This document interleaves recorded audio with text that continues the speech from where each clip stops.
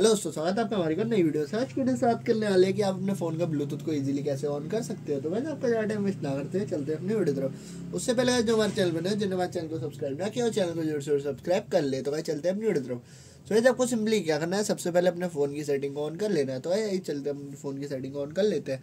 Setting को on करते हैं आपके सामने कैसा इंटरफेस शो हो जाएगा। इंटरफेस में गाइज़ आपको देखने को मिल जाएगा। सो ये देखते हैं आपके सामने इंटरफेस शो हो चुका है। इंटरफेस में आप देखेंगे आपके सामने ये सेंटर में ही ऑप्शन शो हो जाएगा ब्लूटूथ का। आपको सिर्फ़ लेना है ब्लूटूथ पे टैप कर देना है। जैसे आप ब्लूटूथ पे टैप करेंगे तो देखते हैं आप सामने सेंटर पर शो हो जाएगा। इंटरफेस में गए आपको देखने को मिल जाएगा। सबसे ऊपर ही ऑप्शन शो रहा होगा ब्लूटूथ का। आपको सिम लेना है, उस पर टैप कर देना है।